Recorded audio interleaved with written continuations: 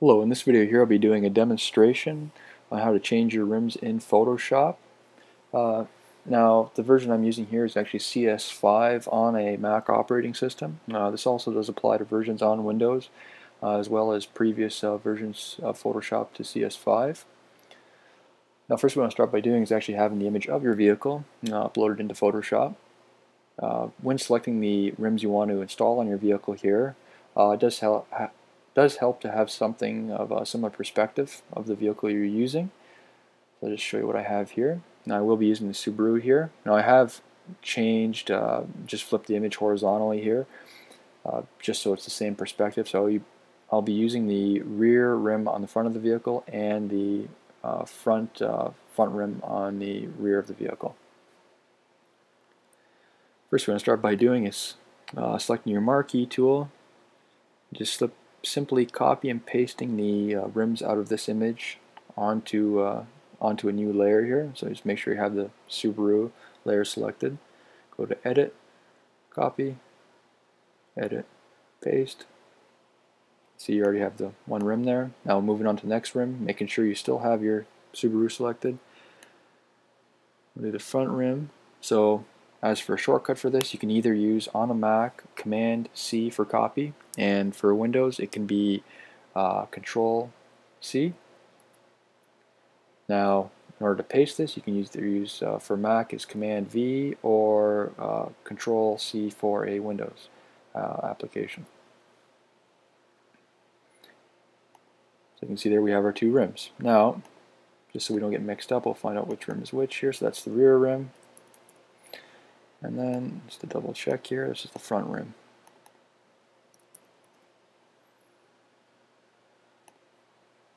Okay, once we're done, we have our front rim selected. We'll just zoom in on here. Now they aren't to size just yet, but we'll uh, fine tune that after in a moment. Uh, selecting your uh, lasso tool here, your polygonal lasso tool. We'll just go around and delete the outside of the tire here.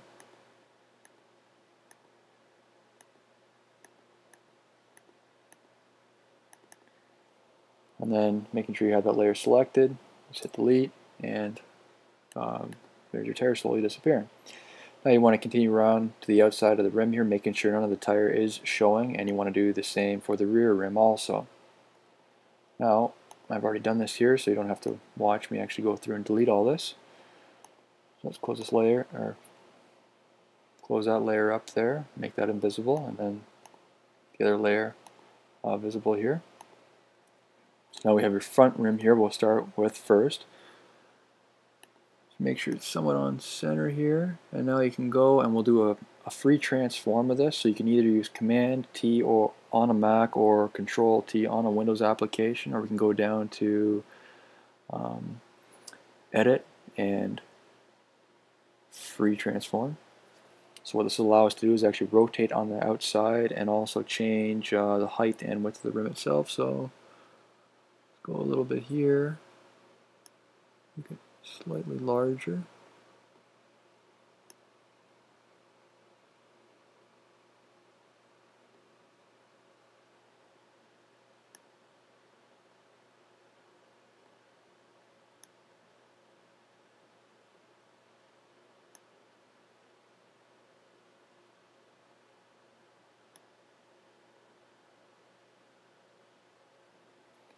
You have something like that, and then we just have to rotate a little bit like so, just something like that, and once you're done, you can just hit the check mark up here or enter. Something like that. Now we'll continue on with the rear rim here, just uh, zooming in a little bit, making sure you have your rear layer selected. Then you can hit Command T, rotating it ever so slightly, stretching it the height and then with the width here.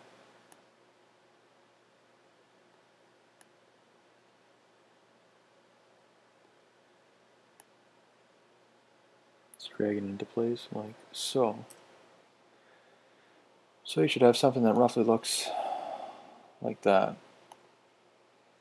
When you're done. Now, that's just basically the stock uh, 15 inch rims which are on the vehicle itself here.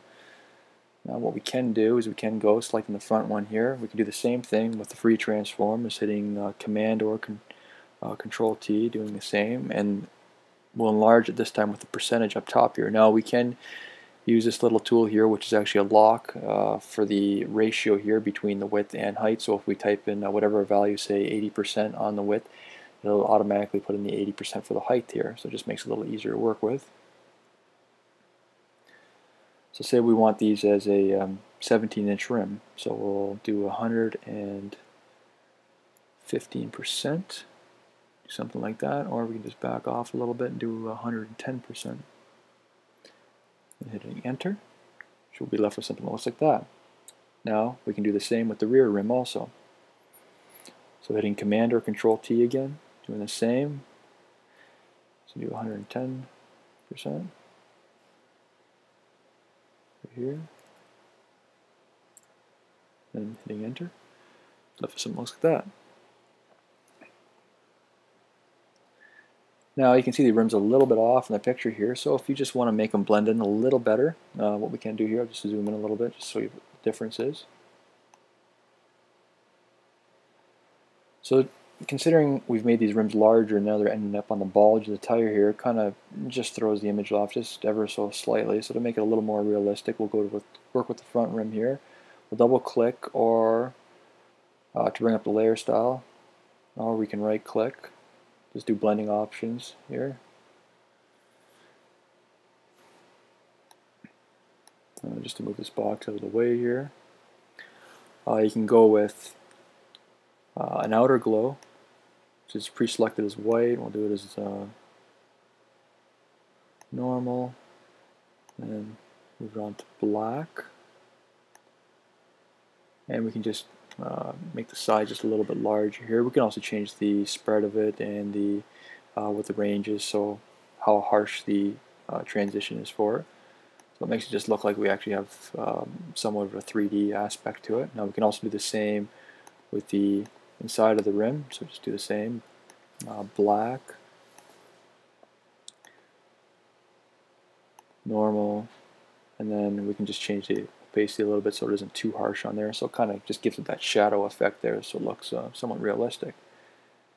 Now in order to make this just a little bit easier, another trick you can do, you can actually go here, um, copy layer style, go down to the rear rim, and paste layer style so you can see it already has the shadow on. Now you might have to change the depth a little bit because it is uh, on a smaller portion here so we can just double click um, go up to outer glow and change the size to say 10.